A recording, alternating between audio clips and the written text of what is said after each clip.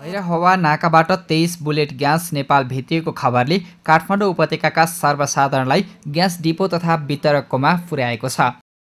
सोमबार बिहानदेखि काठमाडौँका केही डिपो तथा वितरककोमा ग्यास सिलिन्डर बोकेर सर्वसाधारणको लाइन सुरु भएको छ। सर्वसाधारण ग्यास पाउने आशामा दिनरात नभनी फेरि ग्यासका लागि लाइन बस्न बाध्य भएका छन्।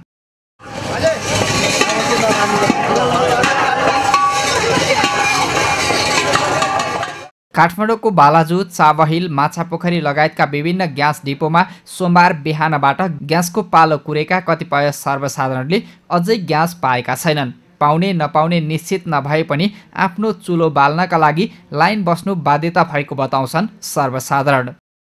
अहिले जम्मा सत्तरीवटा दिने भनेर दियो तर हामीहरूले पाएन। अनि अब पाउँछौँ भन्ने आशले हामी कुरिरहेको छौँ हामी त तपाईँको दाउरा पकिरहेको छौँ। ग्यास ग्यास पाउँछ भनेर ठुलो आसमा हामी बसेको थियो। तर ग्यासको आश गर्दा गर्दा यहाँ तपाईँको पकेर बस भन्छु भयो।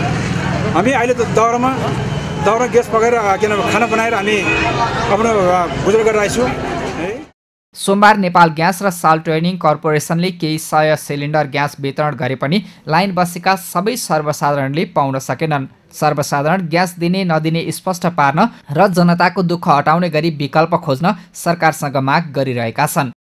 बिहानदेखि हामी लाइन बसिरहेको छौँ। अहिलेसम्म ग्यास पाउनु नपाउने कोही थाहा छैन हेर्नुहोस्।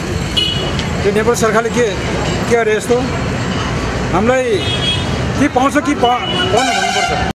ग्यास आयो भन्दा वितरक र डिपो धाउनुपर्ने सर्वसाधारणको दैनन्दिन आखिर कहिलेबाट सहज होला?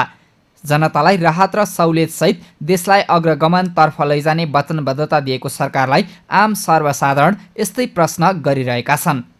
सगरमाथा टेलिभिजनका लागि क्यामेरामा के शक्ति मल्सिनाका साथमा पुण्यप्रसाद धमला काठमाडौँ।